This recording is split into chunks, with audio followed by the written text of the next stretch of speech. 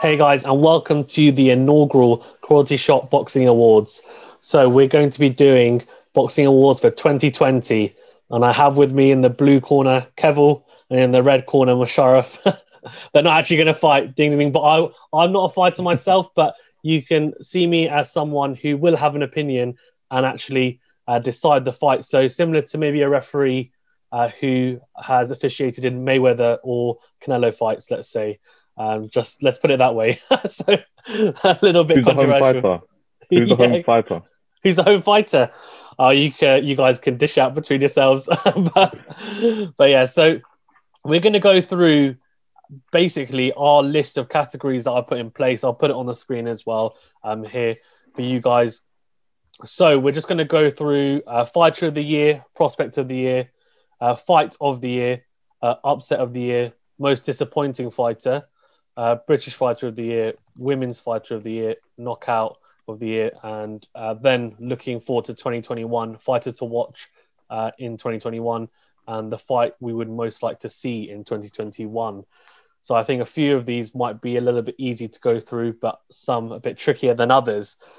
Okay, shall we start with, I guess, something that I don't think should hopefully have too much com- conflict in a Fighter of the Year. So, who shall I start with? Keval, go on then. Let's say you're you're technically the home fighter there. Go first. um, who who do you have as your Fighter of the Year? um, you know what? I, I actually want to say Tim- Timofimo Lopez based on his will against Lomachenko. I thought that was a really good fight. Um, I didn't think he would win actually. I uh, thought I thought Lomachenko would have this one comfortably, considering that Loma was considered pound for pound best fighter in the world. I think this was a really good victory for him. Yeah, no, that's So yeah, that's, I'm, I'm going to say Lopez.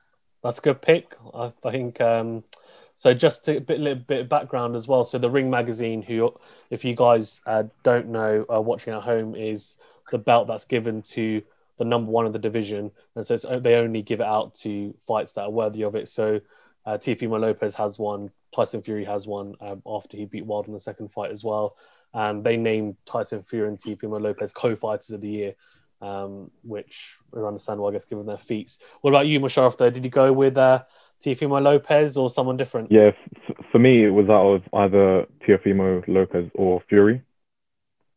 Because I think no one expected what Fury was going to do, and pretty much the same for um, Teofimo. So they're kind of similar in that sense. So it's a pick 'em out of those two.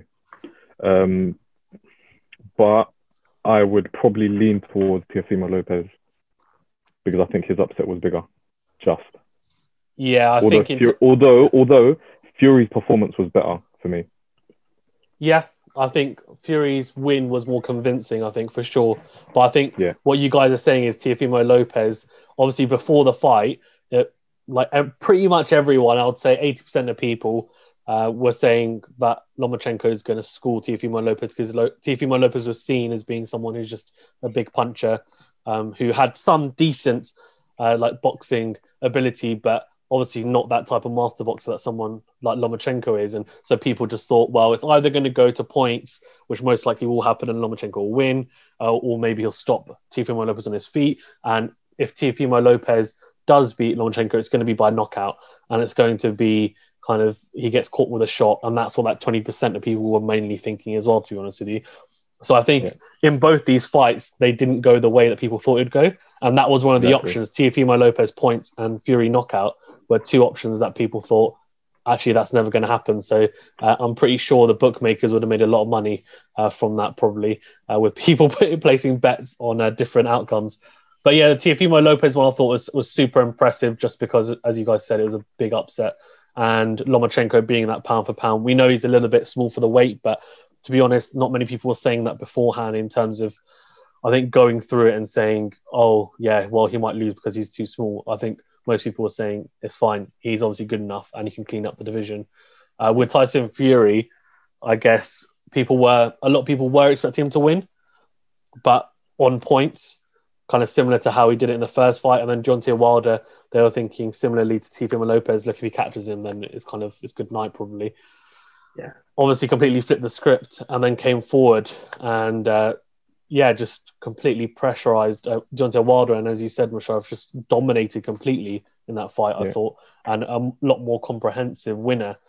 Um, so I think both of you have gone Teofimo Lopez. So I'm happy to go with that as well. I think it, the win wasn't as comprehensive, but I just think No. if you take the the kind of stage The that was set beforehand, yeah, the achievement. He's now look. I mean, I don't want to go too much into the WBC franchise order, but he is undisputed champion at that weight at one three five. Um, he's kind of become a star overnight. So I think I think he definitely deserves that accolade for sure. So happy to go with that. Uh, honorable mentions though to Canelo, uh, who became a four weight world champion officially, beating Callum Smith, um, and Jermell Charlo, who beat uh, Jeison Rosario. And uh, he had it was a unification fight, and after winning that fight, he actually ended up claiming three out of the four belts at light middleweight. So I think that was a very good win, to be honest, because uh, he, I think it was a 50-50 fight. To be honest, a lot of people were heading towards Rosario as well uh, because he had the more, he had more belts and an impressive win uh, prior to that fight. Okay, yeah, I'm, I'm happy. So you guys happy with Teofimo Lopez? Yeah. yeah. Well done, Teofimo Lopez. I'm, you're definitely not watching this, I'm sure, but thank you for being our, our quality shots fighter of the year. One day he might. One day. yeah, yeah, exactly. One day, our 2020 fighter of the year, Teofimo Lopez. Okay, let's go on to something that's a, I'm sure will be a bit more of a talking point. Uh, prospect of the year from 2020. So someone who we think probably well, doesn't really have a belt at the moment in terms of a world title belt anyway, but it's Mm. someone that we're thinking, okay, they've either broken through this year or they've looked good, a younger fighter that's looked good, and we think, you know, going forward, he'll actually be a superstar. So the reason why I said not world champion is because I think most people will go towards someone like Gervonta Davis yeah. um, Or Teofimo Lopez or again. Teofimo Lopez. Yeah, so um, that's why I kind of wanted to go away from it a little bit.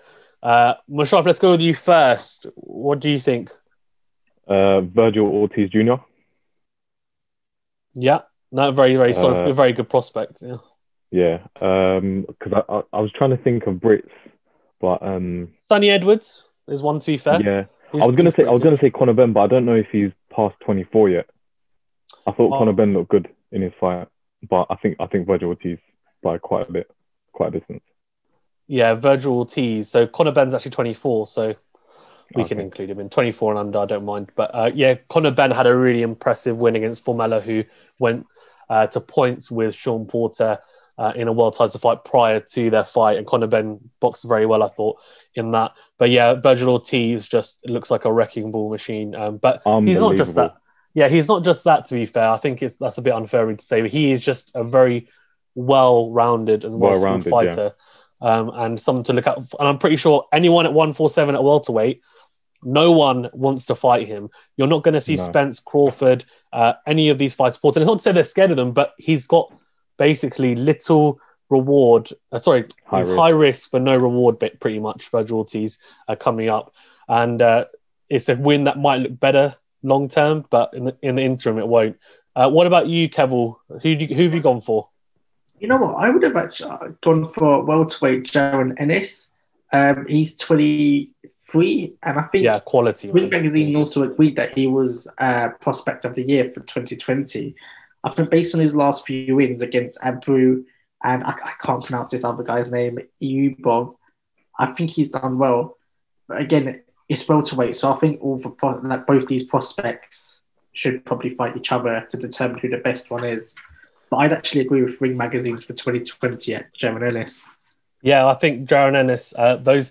It's funny actually. You guys obviously both gone towards the one four seven welterweights, but Jaron Yeah. Ennis is quality. He's Well, so yeah. good, and uh, something that obviously you said, Kev, about hopefully seeing the, those two fight. I think it's probably unlikely, but if it does Can't see it happen, yeah, if it, I mean, I, well, it's unlikely to happen now. I Yeah. think once Yeah, one of them gets a down the belt, yeah, they'll definitely fight. But it kind of reminds me. Obviously, it's way too early to say it, but you know, your Roy Jones and kind of Bernard, Bernard Hopkins, you could ha- have that type of rivalry where they fight two, three times, but not one after the other, but in a space of Down you know whatever line. 10, 10 Yeah. 11 years, um, they fight each other two, three times in that space. So I think both of them are quality. Jaron Ennis, um, it was a no.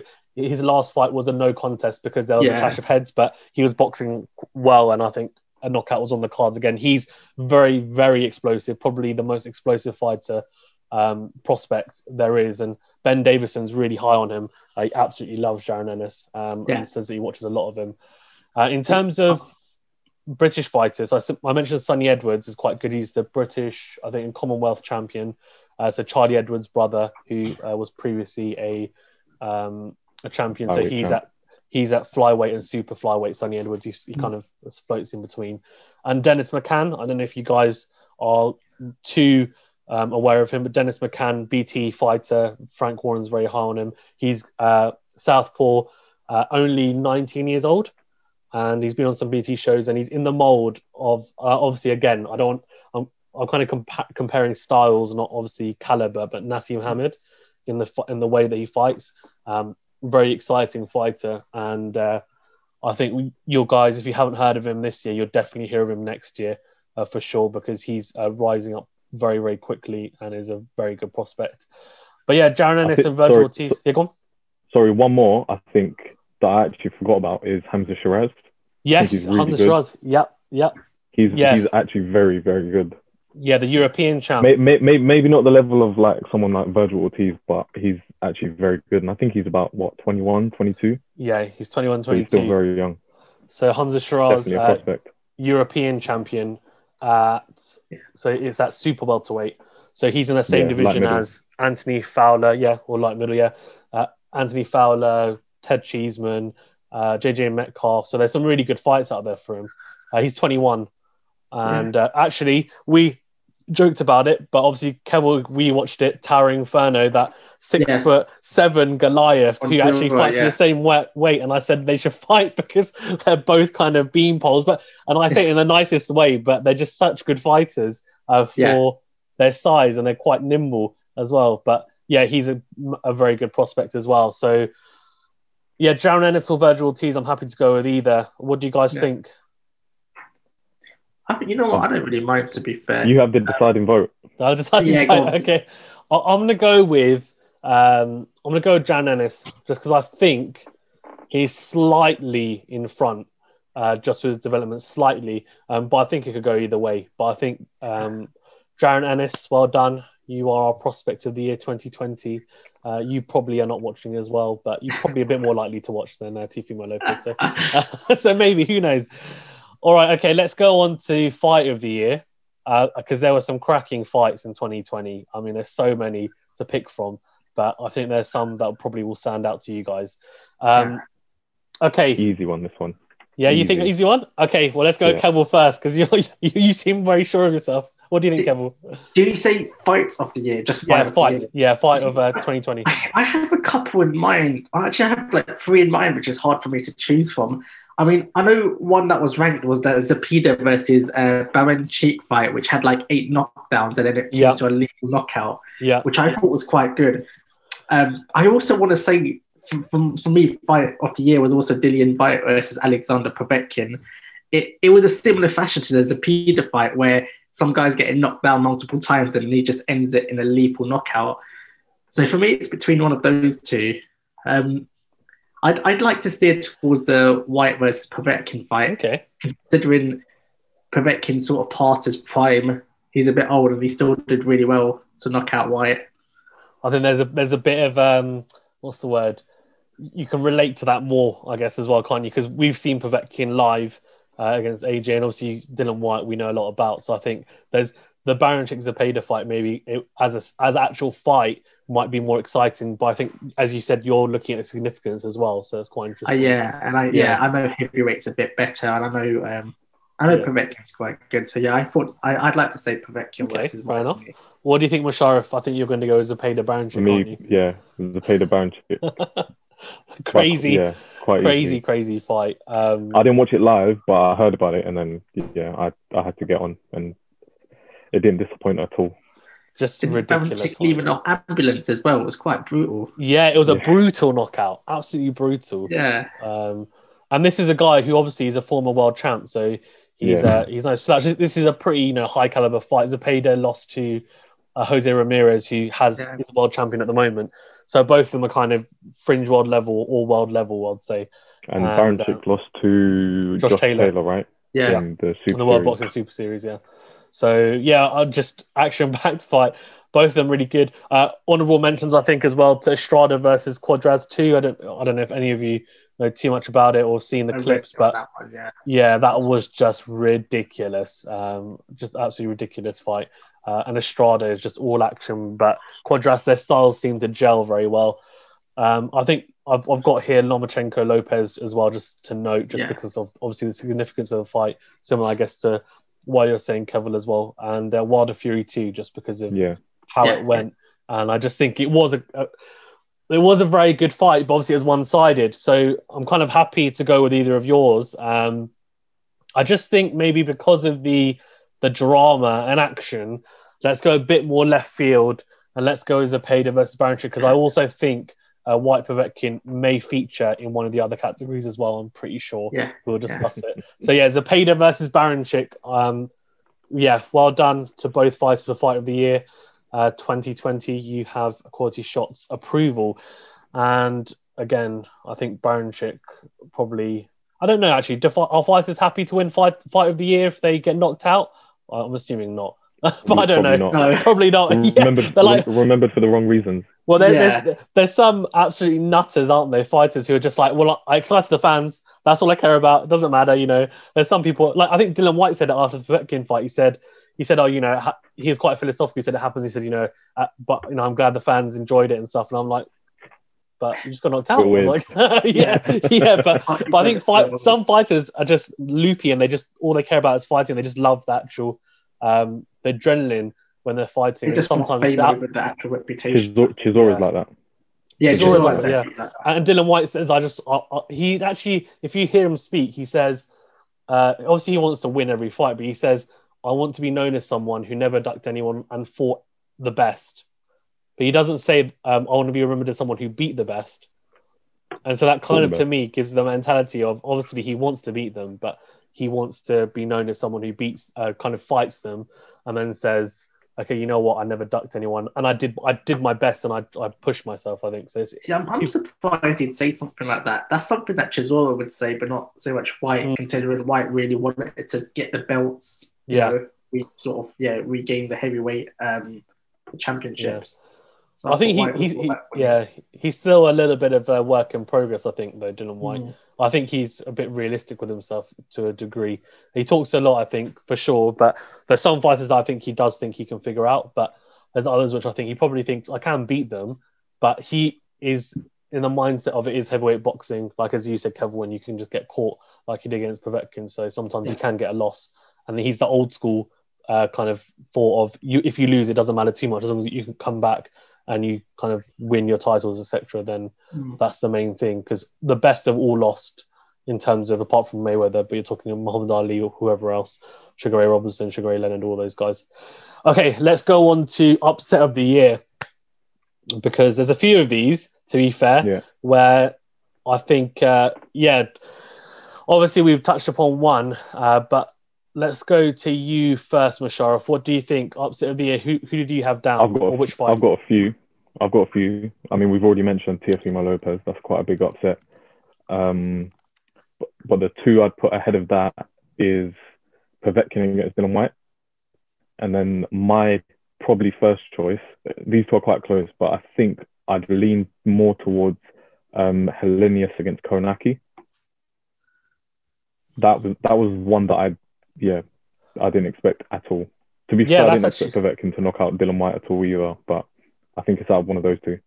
Okay, that's fair enough. I think Helenius um, Kownacki is interesting one actually because that was I completely forgot about that to be honest. That was off my radar, but yeah, that was a big shock because Kownacki was being billed as someone to then fight for a world title in one or two Yeah. fights, and Helenius is kind of seen as a gatekeeper that kind of Definitely. knock, knocked him out, and that was a huge upset. Yeah, we touched on obviously Dillian Whyte and Povetkin. That was an upset. Um, I don't know if it was more or less, in my opinion. I guess just because Povetkin, I think, is still dangerous. But uh, before I kind of go into that, Kevin, what did you have as your upset of the year? Yeah, I, agree with what you just said now, Fazan, about I, I didn't know Povetkin versus Whyte was that big of an upset considering Povetkin's still quite good. And for that reason, I'd steer towards the Lopez uh, Lomachenko fight as the biggest upset for me. Um, okay, That's fair enough. I also have uh, here noted uh, Joe Joyce versus Daniel Dubois. I was yeah, I was actually going to mention that because as well. Daniel Dubois before the fight, I'm, I'd, I think as someone who it's weird, right? Because a lot of people, actually, it's not a lot. Of, a lot of people were going towards Daniel Dubois. Maybe more people that are casual fans, but I, I think even in our our boxing group where we're talking about it, I think to be fair, like you guys can correct me if I'm wrong, but I was pretty much the only one that backed Joe Joyce just because I thought of his pedigree and stuff. But even then, I wasn't very sure of it. I was more just like, I think he'll because of his pedigree, etc., and who he's fought on his resume. But you're Yeah. seen as the underdog, d- despite kind of having the better resume of what former world champions and kind of world class fighters. Whereas Dubois kind of fought tomato cans, and no offense to the people that he fought, but uh, I mean he hadn't really fought anyone at Mm. all, uh, apart from Nathan Gorman, who I think had issues at the time as well. So, but obviously seen as a very very big prospect, and everyone was very high on him, big hype around uh, this kid. I think Joe that, Joyce. that fight was more even than the rest, though. That's Yeah. one thing that I'd say. Okay, yeah, yeah, I think That I was think that was quite maybe not 50-50, but it was like I don't know 60 60-40. Yeah, okay. I think low, and then I've got here um, one that's kind of a little bit less significant, but was a big upset. Was uh, Maxi Hughes versus uh, John, Jono Carroll. I don't know if you guys know who Jono Carroll is, but Jono Carroll. I O'Carroll know who beat. Jono Carroll is, but I, did, I didn't watch the fight. Yeah, so there's a reason for that. It's because it was a, supposed to be a tune-up fight or just a kind of keep busy fight for John Yeah. O'Carroll, and uh, he fought with no crowd and he got beat by Maxi Hughes, who basically this guy has got a couple of losses on his records and was seen as kind of being an opponent just come in, and Jono Carroll just really underperformed after an impressive uh, win against Scott Quigg on a Sky show. And uh, obviously, Jono Carroll's fought for a world title against Tevin Farmer has improved quite a bit since. But this was a big, big upset in the sense that uh, no one really ha- gave Maxi Hughes any chance of winning. Um, so that's a bit of a left field one. But yeah, Loma Lopez, I think that that was a big one for sure. So I'm kind of happy to go with. I mean, what do you think? So, Ken, well, you said Loma Lopez, and Mashara, if you said kind of Helenius and Kownacki, I think those two are, are pretty big for me. Um, You guys change your minds? You still have, or you still thinking uh, the same thoughts of Loma Lopez for you, Kev, and Kownacki Helenius for you, Mashara? thing is, I haven't really watched a uh, Kownacki. Helios one that much, so I can't Yeah. really vouch for that one. Yeah, So yeah. I'll stick to my Lopez just based on my knowledge. Okay, okay. It's a tough one. I've got to decide. Sometimes I don't down, want to be down to you. Down yeah, to you. yeah. I don't. It's tough. It's tough actually because I think the Kownacki one The kind thing of. is, though, Teofimo's like could have been in a lot of these categories. He yeah, could have been prospect of the year, fight of the year, upset of the year, fighter of the year. yeah, yeah, Based on potentially. one fight, yeah. Yeah, based on one fight because it, it was such a significant fight. Um, Yeah. Okay, you know what then? Let's let's go. Let's go. Uh, Kownacki versus Helenius, uh, just because I think Loma Lopez is, is a more obvious one. I think a lot of people would put it in, and I would be happy to put it in. To be honest with you, but I think just because uh, for me, I, I didn't really think of it to be honest with you, the Kownacki Helenius one. It's on my head, Mm. but now when I think about it, it was quite significant uh, in the sense of um, Because Kownacki was ranked, I think, in all of the. yeah, no, no, he was. as well. He was ranked in the top ten in a lot of them, and I think he was looking to fight. I think he was promised the Deontay Wilder fight, um, kind of after that, and Helenius just ruined it. So, uh, and and a gatekeeper really. It's like I guess if you match someone like Mariusz Wach against I don't know Dillian Whyte, and then Mariusz Wach won, um, and we're talking Yeah. about like a fit Dillian Whyte. So. Uh, I think that that's kind of upset would have been okay let's go on to something which, which um, whoever gets voted for this will not be too happy. And but actually, before I do, well done to uh, Kownacki and Helenius for upset of the year, especially Helenius, because I'm pretty sure Kownacki Mm. would just be pretty disappointed with that. Um, okay, most disappointing fighter of the year. This one was a weird one for me. Just before we start, are we saying a fight that we saw that was disappointing, or The fighter. like, yeah, the fighter. fighter So, so, so, so, as a fighter, so it could even be a fighter that has been inactive and hasn't fought for the end. You're disappointed he hasn't fought. It could be a fighter who's been, who obviously is lost in a really bad fashion. It could be a fighter that hasn't done as much as you thought he should have done in the year. So, kind of someone for you personally that you thought you've watched them and just thought, I'm not happy with their year in 2020. I don't think they've actually their trajectory is either has not gone up, it's gone, it's plateaued or gone down really.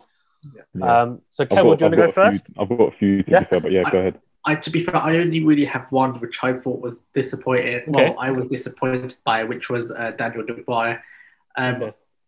Not, I, I think the way he lost, it, it was as obviously we saw is that he quit, which was annoying. But I think it was also his actual style, like his lack of defense throughout that whole fight, in terms of, you know, he didn't slip jabs, he didn't really dodge, he just tried to go for a knockout. And especially when you're a prospect like that, it wasn't really a smart move. So yeah, I I, I have to say that Daniel Dubois disappointment. Yeah, I think he was actually he was definitely prospect of the year in 2019 in a lot of people's uh, like magazines or whatever else it might have been. I think for sure, especially uh, for British publications. So I think there was a lot expected of him. The one thing I'd say is that I think at the time I, I, I will ha- hold my hands up and say that I thought he'd quit, and I, I was kind of a bit critical towards him. But it's come out after that he fractured his orbital bone, which is pretty Yeah. bad. And actually, Kevel, to be fair, you're one of the people that said, you know, actually has he quit though because obviously he doesn't want to lose his eyesight and stuff. And Yeah, uh, so actually, you you are you are actually correct in this in this instance because Uh, if you ca- it's so bad. yeah, if he'd carried on. Uh, so sometimes it's weird because sometimes you see swelling and it's not actually a, a break; it's just actual swelling kind of around the eye. That makes sense. Like you know, if when you get you get punched or there's a it kind of swells up, or you turn your ankle and it swells up. Do you know what I mean? Like it's not a Yeah. break; it's just something that it's like more ligament or muscle related. But for him, you're right. And actually, if he'd carried on, he could have lost his sight. So I think the doctor said to him that it's a good thing he hadn't carried on. But yeah, that that's I, I can understand why you go with And him. I'm surprised these guys didn't pull him out of that in the previous round, considering how. Yeah. I think they were going to. I think I they were going they, to. they said to him one more round. So I think at the end of that round, but maybe they could have pulled him out earlier. But Yeah. it's a weird one because actually, I think uh, they, he the coach said to him, kept on asking him every round, like, "Are you okay?" And he's like, "Yeah, it's fine. I can see." Blah blah. blah. So I think Daniel Dubois was, He's obviously uh, going to say he's through it. fine though, right? A fighter's Yeah. not going to say I'm too hurt. Yeah, Stuff like most fighters, I guess. That's a good point. pride. Yeah, hundred percent. Um, what about you, Musharraf? Who do you have, or what number of people do you have? Uh, Chris Eubank Jr. So um, yeah, he just hasn't fought in it. I know he fought. He fought actually last December, but his Yeah. fight got stopped prematurely, and Yeah. he hasn't fought all of this year. Obviously, there's been COVID, but you know, before that, his last fight was against DeGale, which was at the start of 19, start of 19, end of 20, so around that time. So it's what pretty much two years without a meaningful fight. And he's what in his prime years, and he always talks about world titles and stuff. So I want to see him kind of compete to see if if if he's if he can prove himself or not. Because you know he's fallen short, but I think he can go again for sure, definitely. So I want to see him. And then the other one for me is Amir Khan. He's like he's he's like my guilty pleasure. I love watching him fight, but at the same time I hate it. But I haven't seen him for a long time as well. So get back in the ring. Okay, fair enough. Now I think um, actually I'll touch upon the Amir Khan one first. Yeah. Go on, go on, Keval. I was just going to add one more would, for me Yeah, would be. Deontay Wilder, purely based on the Okay. excuses that he came out against Oh. Fury. Not based on his loss, but based on the excuses. But yeah, that's just Okay, me as well. no, that's that's a good one. That's a good one. Okay, shout. let's touch upon Amir Khan first because I think that's a pretty easy one. I think obviously I, I agree with you, Musharraf. Uh, he's actually one of the reasons why I got into boxing in the first place, watching the Olympics, and um, I am a big fan of him as a boxer. Um, Yeah. But I just think from what I've heard and seen, like he's he's obviously in the twilight of his Close career. Yeah, and and let's be honest. I mean, if he's going to fight, it, he's look he's waiting for a big fight against someone like a Pacquiao, etc. And and I think he'll wait a year or two, and if he doesn't get it, then he'll just call it a day. Um, Yeah. But I don't think I think he's past the kind of he's past that. Um, I feel like he's past the t- the time where he would have like a couple of Mickey Mouse fights and then wait for that that kind of big Yeah. name. To be fair, he hasn't had too many Mickey Mouse fights in his career, but I think obviously he had that fight in Saudi Arabia against Billy Dib, which was a Mickey Mouse fight, and Kel- the think Calvert since- fight's yeah. not going to happen. Go on, Kel, what were you going to say? I think since Terence Crawford, I think he sort Yeah. of slowed down his number Yeah. of fights, and he might Yeah. be That was a of. punishing fight as well. yeah, and I think he might be headed slowly into retirement, but in a tactical way. Like It could be, yeah. It could be. I, I think you're right. I think I think he's got one foot in, in uh, kind of one Retirement foot camp. in retirement and one foot uh, kind of waiting behind, thinking, you know what, uh, can I get that Pacquiao fight basically? Which I think is the one he really wants because he knows that obviously. Yeah. I don't think he'll get it though. I think I don't there's too think many he'll get people ahead of him in the line. Yeah, Honestly, I think McGregor has a better chance of getting Pacquiao than which is really Khan. sad because I'd, I'd Yeah. love to see him get the chance. I don't think he'd win, but I think for him, I can tell he he's wanted those fights for so long. So if he could just get, uh, he wanted Pacquiao Mayweather for so long. Mayweather promised him the fight multiple occasions, and it just never materialized. But we'll see, we'll see. Uh, Eubank Jr. Uh, is a good one as well. Obviously fought Korobov, um, but he uh, injured his shoulder uh, in the I think the second round, and uh, Yeah. obviously it's not you can't really take anything from that. And yeah, as you said, James DeGale, he fought him in February 2019, uh, which was a, Yeah. a pretty good fight. So it was a bit scrappy, but it was a good win for him anyway. Um, put him into retirement, James DeGale. Look, I mean, Yeah. you're right because he's trained by Roy Jones Jr. and someone Yeah, made I the to joke. see, like, I, re- I really want to see what difference And he made. If yeah. any. But you Yeah. know what? It's it's funny because obviously people were saying that Chris Eubank Jr. instead of being trained by Roy- Roy Jones Jr., he's training Roy Jones Jr. for the Mike Tyson exhibition because Yeah. that's what ended up happening. Roy Jones Jr. fought in 2020 and Eubank Jr. didn't. And how does that like before the year? If someone said that to you, you'd be like, "What?" Um, so yeah, you're right. He needs to buck it up. Um, if he, I think he wants to fight in front of crowds or whatever. But look, he is a decent draw in the UK. In the Hmm, US, he is not that much of a draw at all. Um, he's pretty. So if he wants to kind of build a name for himself there, he's just got to get out and fight people and just get on with it. PBC fighter as well, right? I yeah, he's still with he- them. he- yeah, he is, and he keeps calling They've, out. they've got they've got a lot of middleweight, so I don't really Yeah. see the issue. They do, and, And, keeps super middles as well, because he can Yeah. fight at both weights. Yeah, I mean, he keeps calling out Canelo, and obviously, I think he keeps calling out Charlo, etc. That would be a good fight. I'd like to see him against Charlo. Why not? Um, I think it'd be an exciting fight. He's an all-action fighter. Um, but yeah, Ken, what you said about Deontay Wilder, and Deontay Wilder, I think obviously the way I think the way he lost is probably a bit more disappointing. In that, I think as well in the fact that you realize, I think before, right, you know he's got his limitations, but after Yeah. that fight, you realize he can only really fight one way. Um, and to be fair, a lot of people might have thought that about Tyson Fury before, but I think Tyson Fury is different because he's got that more solid base. And even though Yeah. Deontay Wilder's got a bronze medal at the Olympics, um, you can see with him there are limitations to his uh, to his game and the way that he boxes. So I just think that was a bit disappointing that he he's not able to adjust in fights. I don't think he's at all. I think he's pretty Yeah. reliant on one weapon, which is that right hand or, or just power, really, and waiting Yeah. for an opening. Uh, but yeah, the excuse is obviously what was it? The suit's too heavy was the first excuse he came out with. and then it was- Fight He'd been poisoned by Mark Breland, and then it was the ref or something. Is uh, in yeah. yeah, Weight, Fury's weights the, in the gloves. yeah, the loaded gloves. He said, "Oh, I, I felt like there was an object or a stone or something or a rock in in the glove, and that's why I've got an indent in my head." And so first of it was the team that came out. His brother was saying it, and then actually he started backing up, and then he came up with that really bizarre video, didn't he? Uh, where he was, he yeah, tried back that video of Fury where his thumb bit dis like wasn't connected to the rest Yeah. of the glove, so the referee had to check that out. But that's fine. The glove just probably tore. But Yeah. Wilder was trying to use that as an excuse to say, "Look, he's cheated Yeah. in the past." It Yeah. didn't really seem like a cheat. It was just a little, you know. but glove also rub. you, you know you know if, if you hit someone with a flappy glove, Hmm. it's got less power in it anyway. So, so Yeah. his point is It- it- completely invalid. So it's just a really, it's just so funny to, to hear him talk It just makes it. his loss look worse. And the thing is, yeah, hundred percent. And the issue with him now is as well is that a lot of people will be thinking he's making his excuses, and a lot of people are thinking he can't get over that loss, and how is he going to respond now? Um, One fight I'd love to see him in, which I'm going to leave it off top, but I want to say is um, is him versus Dillian Whyte because they're Mm. both coming off losses, and I think there's a lot of beef there. I don't think it will happen because uh, Dillian Whyte is supposed to fight Povetkin, but that might not happen. But I just think it's too short notice to fight in February.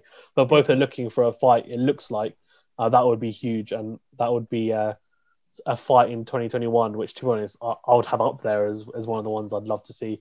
Um, One thing I want to add though, um, just a small part of me, even though it's done very badly, he's gonna buy it in a, like a really bad way, is that he's trying to bait out Fury into taking it again because Yeah. of all the court case stuff. It could just be like an elaborate ploy just to get him back in the ring, but it's just done really poorly. So I think he wants to do it. Um, he's trying to force it, but he knows it's not going to happen trying to dramatize it. Yeah, he knows it's not going to happen next. It's going to happen later later in the year if it, if it ever does happen, which I, I don't think. I have a feeling it's not going to happen. Anyway, we'll see.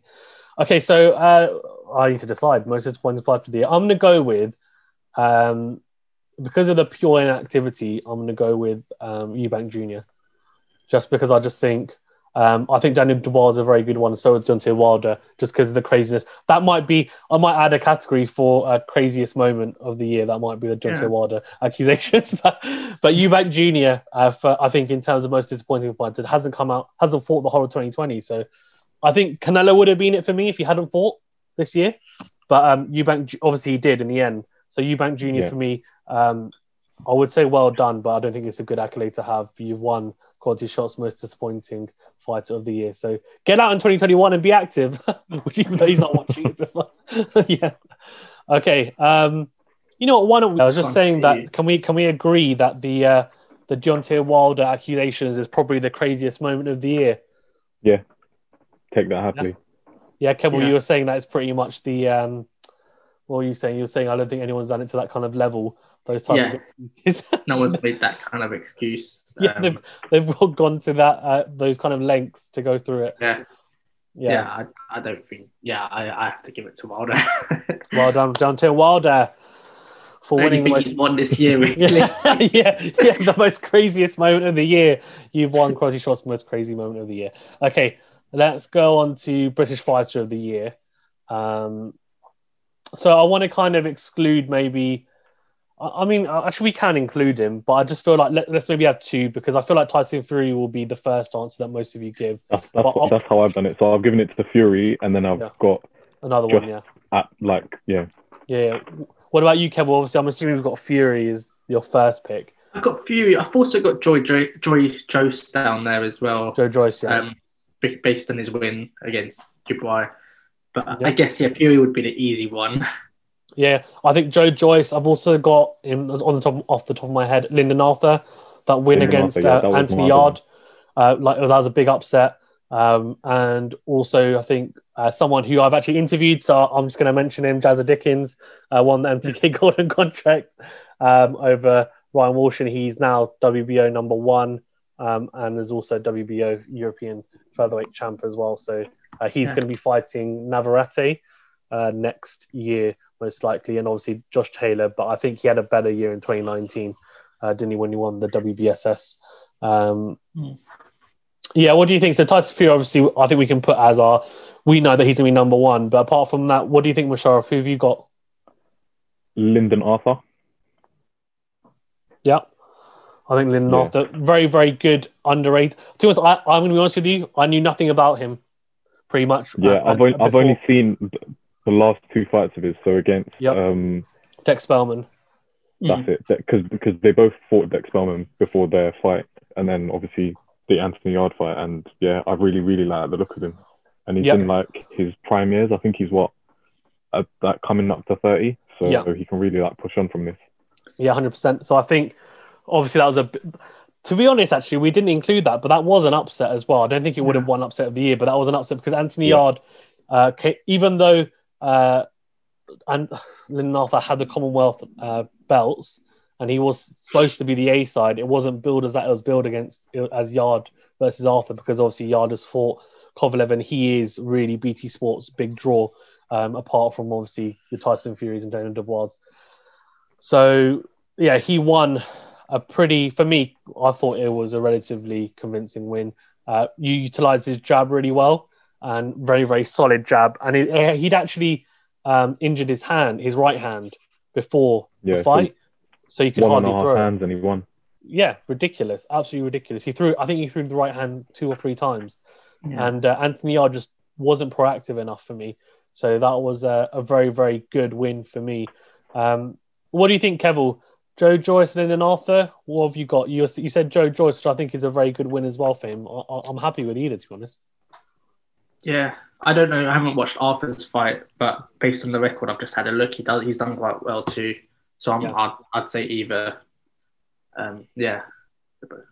Okay, let's go with. Oh, it's a difficult one. Mm. I don't know. You know what? Let, let's let's go with Joe Joyce. I just think because of the hype around it, uh, that fight, I think there was a lot of hype around um, who would win that, and whoever wins that is going to go on to probably fight Yeah. for a world title next I'm year. I'm happy with that. I think he deserves it. Either Yeah. of them deserve it, but I, I think he's. Re- I think he. And to be fair, he probably deserves it as well because he he was so underrated for no reason um, before that as well. So I'm happy to give it to him just because of that. Mm. So well done, Joe Joyce, for winning our uh, British Fighter of the Year. Um, obviously, we're excluding uh, Tyson Fury from that because I think he's the obvious choice for that one. Okay, let's go on to something which um, I'm not. I mean, I, I've watched a lot more women's fighting this year than I probably ever have, and I think it's it's definitely booming a lot more than it has done. Uh, but let's go on to in lockdown. yeah, hundred percent. Uh, quality shots, women's fighter of the year. So, Musharraf, do you want to go first? Who have you got? Uh, yeah, like I'll be honest and say I don't watch too much, but I've watched a few, and from what I've seen, um, uh, Terri Harper Yeah, was the best yeah, women's fighter for me. yeah Terri Um, I Harper, think she very very fought good. three or four times, and she's world champ now, and she's young, and she can just carry on going ahead. Yeah, really good fight against Natasha Jonas, which was I think that was on the undercard of a draw. Povetkin Whyte, which was a draw, Yeah, a was a little bit draw. contentious, but I think that was a quality fight. And then obviously after that, she came back and uh, a, a very good win um, after that as well. So Yeah. and, and the way she won the world title was really good as well. Um, Yeah, Keval, who have you got? Anyone different, or who are you going for? I think say even Katie Harper, but I also um It's I Katie also Taylor, say yeah. Kate, Katie Taylor. So Katie Taylor's done quite Yeah. well. Uh, she got a win this year too. Um, but yeah, same. same. I don't watch too much women's boxing, but I know Katie Taylor's like be like active. Yeah, Katie Taylor is, I think, she?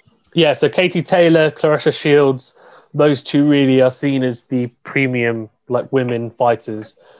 Um, they're the two really that have grown women's boxing. Uh, Claressa Shields, I think, is now a three division world champ, and Yeah. uh, Katie Taylor is a multi multi weight world champion. She was undisputed as well at lightweight, so she's uh, had those a couple of fights against Delfine Persoon, which were really uh, entertaining. One Yeah. on the card of AJ, uh, what was it? AJ Ruiz. Ruiz won.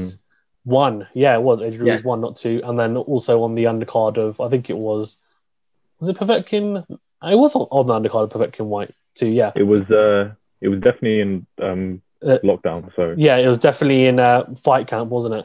So that she was might have again. been headline though. She might have been actually. Um, I'm trying to think whether she was, but e- either way, yeah, really, really good fight against look. Delfine Persoon. I think that that was a action-packed fight for sure. Um, and to be fair, like another war. Uh, I've also got noted Jessica McCaskill. So she beat uh, Cecilia Brækhus, which I don't know how familiar you guys are with her, but she, uh, her nickname's the First Lady, and uh, she basically was undefeated uh, before Yeah. uh, losing to Jessica McCaskill, and she was undisputed as well. Uh, I think it was middleweight um, previously. So Jessica McCaskill beat her, and they're going to do a rematch uh, next year. But that was a big big upset because Jessica McCaskill's lost to Katie Taylor. Uh, Katie Taylor, sorry, and she's a good fighter, but she was she was seen as a big underdog going into that fight. So, Yeah. but I, Casey Taylor was on Dillian Whyte's undercard, and Yeah. Terri Harper wasn't. Okay, Terri Harper must have been on another another card then. Uh, maybe the, I think the Sam Eggington, Ted Cheeseman one. Maybe I think maybe that one. Um, but yeah, something like that. yeah, okay. Um, what do you guys think of Terri Harper? I think that's that's what I can Yeah, I yeah, lean Harper. towards. I think she's had a very very good year, and uh, I think she's definitely someone to look He's out for. three or four times as well, which is quite surprising. Yeah, a lot hundred more than other fighters. So Yeah, yeah. impressive. very very active so i think that's definitely something to play to uh, factor in also honorable mentions to uh, chantelle cameron uh, who became a world champion wbc world champion um, only a few months back actually and uh, is undefeated and is looking to really make big fights against people like katie taylor etc she's in the same division or or one weight below so yeah, some uh, very exciting fights on the horizon. Savannah Marshall as well, uh, who's trained by Peter Fury, um, won a world title this year as well. She's the only fighter to beat Claressa Shields uh, in the amateurs. Yeah. Um, so there's a lot of beef between those two, and they're trying to build that for next year. I think so. We'll probably see Claressa Shields versus Savannah Marshall in 2021. Um, even though Claressa Shields is now doing MMA as well next year, so she's doing MMA and boxing, which is Yeah. crazy, which is absolute madness. But anyway, okay, uh, well done, uh, Terri Harper, for uh, winning Quality Shots Women. Sorry, Quality Shots Women's Fighter of the Year. Um, okay, let's go on to something which I think is a bit exciting. Knockout of the Year 2020.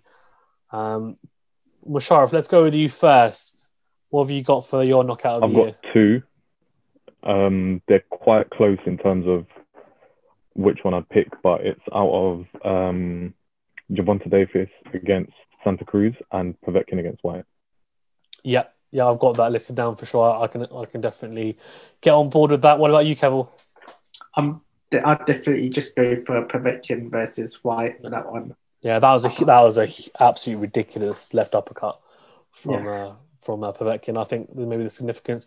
I've also got listed. Obviously, uh, we've discussed this a little bit. Zepeda versus Baranchyk, just because the drama in that knockout, and also uh, maybe a bit of bias. But Joshua Pulev, I thought was quite a good knockout. The right Yeah. hand was a was a good finish. I thought, and I, I maybe maybe a little bit not underrated, but maybe a bit overlooked just because he's done it quite often now. Um, but I think as a knockout, considering how tough Pulev is as well during that fight, I think the way he finished him was was a good knockout. But I'm happy to go with Whyte uh, versus Povetkin because I just think that came out of nowhere, and the way he slipped under uh, Dillian Whyte and then came up with the left uppercut was just a ridiculous shot. And you don't. Though Gervonta Davis won against Santa Cruz was very good as well, but I think Santa Cruz was coming up uh, a weight. Yeah, Yeah. So even though he's taller, really, and but he's in Mm. weight, he's not used to com- coming up to that weight. So uh, Santa Cruz has never been knocked out, which I think is very impressive. Which is why that was such a good knockout as well. Uh, so worth noting that uh, that's a very close second. But I just think Whyte versus Povetkin, just the way it happened was just absolute madness. So yeah, uh, well done to Povetkin for winning knockout of the year versus uh, Dillian Whyte. You have won quality shots knockout of the year for 2020. Okay, um, we've got two more categories to get through then, and these are kind of looking forward to 2021. So something that I think, uh, hopefully, with COVID, I'm hoping is going to tone down a little bit. So we'll be able to see these big fights, and we won't have as much kind of fight camps going on, etc. We'll see what happens. But um, either way, fighter to watch for 2021. So it can be anyone. Um, who you're most looking forward to seeing out in 2021 um, kind of seeing even if it's just just seeing them fight against whoever or maybe just looking forward to seeing them fight because you know they're going to probably going to be fighting x y and z uh, so Kev, do you want to go first Yeah, um, I go for Alexander Usyk for this one purely because I think he's done really well climbing the, to the heavyweight division, and I want to see him test himself against some of the tougher heavyweights. okay Um, that, that's a really interesting pick actually that's a good one though it's a good Yeah. one uh, i think obviously there's the um he recently said i think that he's one of the build uh, the obstacles between joshua versus fury happening or fury joshua whatever happening Mm. next year but he has now said that he's willing to step aside for probably a considerable amount of money uh, step aside money uh, which is kind of good news for people who want to see joshua fury but i think even if he wasn't to fight joshua next year um, or fury or whoever it is um, i think there's still big fights that are out there for him uh, to one test himself, but two, as you said, Derek Chisora is just one fight. Um, so to see him against any decent heavyweight and see him progress, because I think he needs a couple of those fights before facing the big, big boys anyway. Um, so I think you're right. And considering he gave himself a, was it a three out of 10 against Chisora? So, yeah, um, so then if, if, if that's actually that's the why I'm case, interested to see what Yeah. he's out on, like a six out of ten or something. Mate, so if it's a three out of ten, then we've got a lot more to see from him, right? At heavyweight. So let's see. Hopefully he doesn't get injured as well. Hopefully he's injury free. That's a big thing for him Mm. Uh, as well. What about you, Musharraf? Who have you who are you looking forward to seeing? Um, I had the short list. Um, Usyk was actually on it, but the one, the fight that I want to see the most, he's one of my favorite fighters at the moment. Uh, but he didn't fight in 20, 2020. Um, is Artur Beterbiev. So Yeah, Ar- um, Artur his la- Beterbiev his- is a beast. he's yeah, he's probably he's in my probably top five, top three fighters just at the moment. Um, but yeah, his last his last win was unbelievable. I think it was just at the end of 2019 against Gvozdyk, and Yeah. he he pretty much destroyed him. So um, I was disappointed not to see him in 2020, but definitely can't wait. I think he, I think I might be wrong, but I think he's got a fight scheduled Yeah. for the, like early 2021. So we'll see how he gets on. But Yeah. the one like I think it kind of rolls into one of the next categories is should I save it or should I say it? You'll save it, save it, save it. Okay, fine, Save it. save it. But, But yeah, but, but I'm looking forward. I'm looking yeah. forward to seeing Beterbiev Usyk was on there, and I'll throw a wild card in as well. Uh, fighter to watch for 2021, Edgar Berlanga. Yeah, that's the PBC fight who's knocking everyone out, isn't he? Yeah, he's. Uh, I want to see how he gets watch. on as he starts to take better and better fights on. Yeah, no, that's a that's a good that's a good shout. I think um, Artur Beterbiev was supposed to fight in October against someone in Russia, but it got cancelled because of COVID. As some type, of, I don't know, I forgot exactly why, or he got injured. Actually, sorry, I think he got injured, um, shoulder injury or whatever it might have been. So uh, that's why he didn't fight this year. But that fight against Gvozdyk was just ridiculous. That unification He, fight. honestly, he Um, was unbelievable. It just yeah. Obviously, he had that fight against Callum Johnson where Callum Johnson dropped him, so he can be Yeah. hurt a little bit, but he's just a beast and he's unbeaten. And I think he's knocked out every single one of his opponents. So this guy is just a wrecking ball. Um, and yeah, Kevin Alexander Usyk is just uh, he's still a little bit of an enigma at heavyweight, isn't he? Because obviously, So I want to see him. Yeah, I yeah, we don't know. There's yeah, there's a lot of mystery, mystery kind of clouding how good he actually is going to be at heavyweight. So I think uh, people are saying uh, there's a lot of different views on him. Like he's moved He's uncertain, I think. Yeah. A lot of people are saying he's moving up too late. A lot of people are saying he's going to be too small now. A lot of people are saying, you know, uh, at heavyweight he's not going to move as well. But then there's some people saying, actually, no, he's going to grow into it. He does have the ability, he can do it. So, Yeah, I think that's we want to see. We want to see what he's like with some of the others. That's what yeah, that'll be good. We'll be I don't think his size, like a, like a lot of people make an issue about his size. yeah, Firstly, he's like what six three, six four, 6'3", yeah, around 6'4". that mark. So he's Yeah. not he's not tiny, and I don't think his size is as detrimental as a lot of people make it out to be. Maybe he'll struggle against Fury and AJ, but Yeah. a lot of people will. Maybe even Wilder. Um, I don't think he will against Wilder, but I think he'll have a harder time against Fury and AJ. But Yeah. I think against most of the rest of the heavyweight division, it- Yeah. I think he he can win most, if not all of them. yeah. Hmm. I think it's a little bit about lack of power as well. People are saying that he Yeah. doesn't, maybe doesn't have the That pop. that could be an issue, but you don't Yeah. always need power to win at heavyweight. So True. Yeah. True. Okay. Um, I'm trying to think if there's anyone else that I have off the top of my head. I think um, we obviously touched upon Jaron Ennis and Vergil Ortiz. I think they're people to look out for, but I don't know how big their 2021s will be. I don't think they're going to get a world title shot. Um, you know what? One that actually is a little bit left field is uh, Ryan Garcia. Obviously, he's fighting against Luke Campbell only in a few days' time on the 2nd of January. Yeah. But I tell you what, he if he wins that fight, uh, he's one to look out for. Uh, obviously, that lightweight division, you've got Teofimo Lopez, you've got uh, Gervonta Davis, you've got Devin Haney. Haney. Um, so actually, for me, De- Devin Haney's one that I want to see because I don't think he's been quite tested enough yet, no, and I'd like to see him in a bigger fight against. I think they're saying that he'll fight the winner of Ryan Garcia or Campbell, hopefully. So if that does happen, that will be a very big fight, and I just want to see how good he is because people are billing him as the next Mayweather, which I think is ridiculous anyway. But I just think there's a lot of hype around this kid. Uh, let's see how good he is. Um, but I'm happy to go with Alexander Usyk because I think uh, both of you have got him on your list. Um, I think, yeah, there's a lot of mystery around him. Let's see how good he is, and hopefully he fights at least twice next year, if not three times, to see how good this guy's going to be because he has to get a move on. He's what 33, 34. Mm. So I know you can fight until 40 at heavyweight, but he's he's fought a lot in the amateurs as well. So um, he's got a bit of wear and tear already on him. Okay, um, so well done to uh, Alexander Usyk for being our mysterious uh, quality shot fighter to watch for 2021. Okay, fight that we want to see in 2021. So I think there's obviously a couple of obvious answers, um, but feel free to give me a couple of others as well. Uh, Keval, let's go with you first. What's your fight to see in 2021? I think one obvious one is obviously Fury versus AJ, right? Um, trying to think of other weight divisions who I want to see. I'd actually like to see Whyte versus Wilder as well, potentially.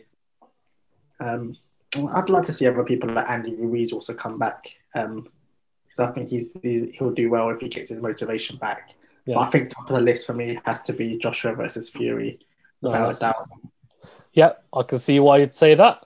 Um, I might have to say uh, excluding AJ Fury after Musharraf Yeah. says his because I'm pretty sure it's going to be AJ Fury. So go on, Musharraf. AJ, AJ yeah, Fury. ob- obviously AJ Fury. I think it's like a lot of the other categories. You got like your standout, and then yeah, ones that deserve a bit more recognition. So obviously AJ Fury, uh, Spence Crawford. yeah, I don't know how likely that is, but then my two choices, which I try to like think outside the box, um, is one of the fighters that I mentioned. So I want to see Canelo fight Beterbiev. That's never going to happen. You know that. I'm telling you now. Canelo is not going anywhere near Artur Beterbiev. I, the reason why I I'm think that. saying, however unlikely it is, it's one fight that I'd love to see. Well, yeah, I, I, I think I would love to see that, but I just have a feeling. Um, Canelo keeps on saying that he wants to clean up a one six eight. I mean, it could happen in 2022 maybe or something. Mm. If, if if he cleans up a one six eight next year, and then he thinks, okay, because he said he wants to retire there, but if he cleans up a one six eight, he might just think, oh, do you think I can maybe push myself? And by that point, Beterbiev is a little bit older as well, and Canelo's probably still in his prime, really. So he might Yeah. think, oh, actually, I can get away with it. Um, but yeah, Yeah. that's a monster fight. Um, what other fight were you going to say? Uh, the other one is uh, Lomachenko against Mikey Garcia. Okay, what weight? Because Mikey Garcia is at 147 now, apparently. so, Well, he's not. He's not really. So um, I don't know. They could even do it at catch weight because neither of them hold belts. I don't think. I don't think Mikey Garcia has a belt, but they could do that at catch weight, 140, 135. They can take their pick. yeah, yeah, I agree. Um, So yeah, Mikey Garcia against Lomachenko at okay, 135, 140, whatever they want. Probably, I don't know. It might it might just have to be like a catch weight fight, but it's something that I'd like to see.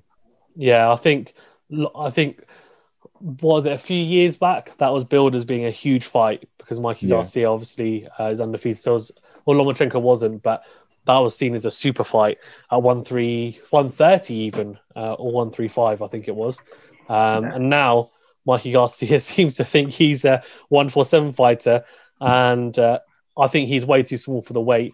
I, I, I just, I'd love to see it. It's just I don't know whether Mikey Garcia can get back down to 135 or whether he Yeah. wants to, because I just don't Yeah. feel like his um his He's one that really in hasn't it. fought in a long time as well. I don't think. Yeah, I can't Jesse Vargas was the last fight. Uh, so I think that was, Was that in this year or last year?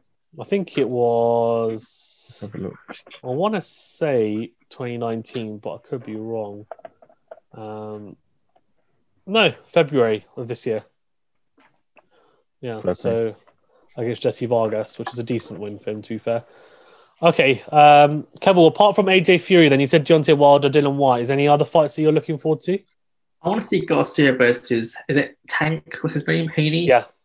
I want to see that one because that was meant to happen, but it Oh, didn't. It- Oh, Ryan Garcia versus Jav- Gervonta Davis, Tank Davis. that's oh, that's the one. Yes. yeah, So yeah, that's yeah, that's drawn because that was meant to happen, but now it's Garcia versus someone else. I think it's like Smith, Luke Campbell. it? Luke Campbell. Campbell. yeah. Okay, so I'm getting my names mixed right? That's right. Uh, Yeah, Luke Campbell versus Yeah. Garcia, uh, Ryan Garcia on the second of Jan.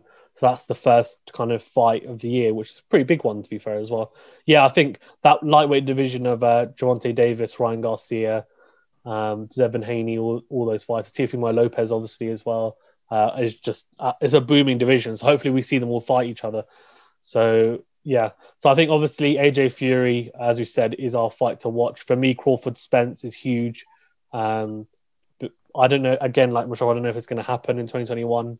Uh, just because there's just so much drama. I don't know why. Just get it done. Like if they can do it with AJ Fury, where they're two people that obviously earn a lot more than Crawford and Spence, then I don't know why the two, why Top Rank and PBC can't get together and do it.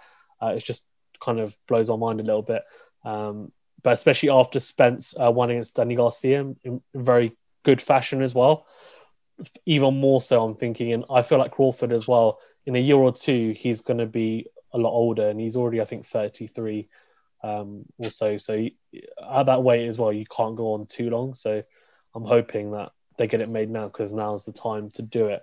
Um, yeah. So apart from AJ Fury, happy for me to go with Crawford Spence for the fight we want to see in 2021? yeah, Yeah. Which I was Although, like, although, al- do I agree? Canelo Beterbiev is the one for me.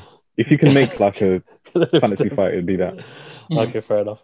Fair enough. Yeah, I, I- I mean, Yeah. I think I think that would be a good fight as well. I just, yeah, I think maybe for me the reason why I'm not resonating as much with it is because I just I just have a feeling it's just it's never going to happen. Either it's never going to happen or it's not Yeah. going to happen next year anyway. Mm. Um, we might be talking about it uh, this time next year when we look at it and say actually Say the same about Spence and Crawford. To be fair, That's true. That's true.